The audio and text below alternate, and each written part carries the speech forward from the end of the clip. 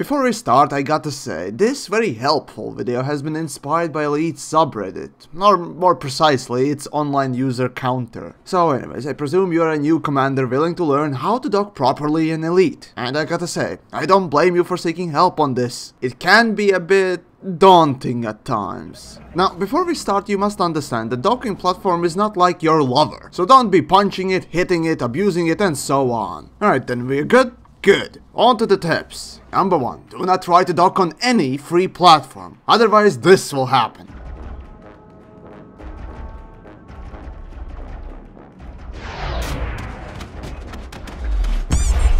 Remember to always send a request for docking and then find your docking place. Number 2. Position yourself. Do not dock sideways, that doesn't work. Do not dock backwards, that doesn't work. Do not grind your face upside down across the platform.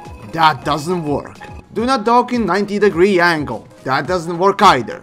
Do not solicit prostitutes while docking. That doesn't work. You know what? Most things you're thinking of trying will not work. So put down that blowtorch and that captive federal. Whatever you're thinking, it won't work.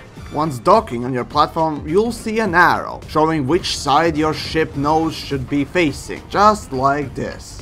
Number 3. Landing gear. Then as you position yourself correctly and start rubbing yourself ever so gently against the platform like some horny cat, all sorts of things will happen, but not the one you would expect, and that is successful docking. For this, do not forget to deploy your landing gear. Number 4. Don't speed dock.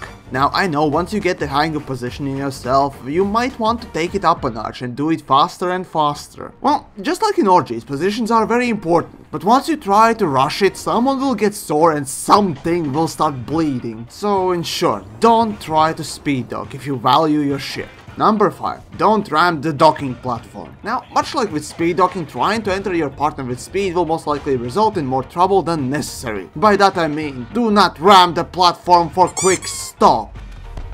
First, that's just an idiotic way of stopping, and second, it shows your lack of piloting skill. Plus your ship is hurting, you soulless bastard. Number 6. You know, if at this point you haven't learned anything or you simply don't have enough brain cells to store even this little information, just go and buy yourself a docking computer. At least then you can spend your time twiddling your thumbs and listening to quality music. Maybe that way you'll learn something. So yeah, by the end of this we have a bunch of do nots and some weird analogies. Guess I'm in some weird mood today. Oh well, just keep practicing and those orgies, I mean docking, will get better in time. What you doing? Stop raping that platform. Trying to figure out how to land with my nose. Well, um... Why don't you open up that? Let me in. Let me in. this will be perfect. Is that how you? This how you land? Am I doing it right? oh man, that's great.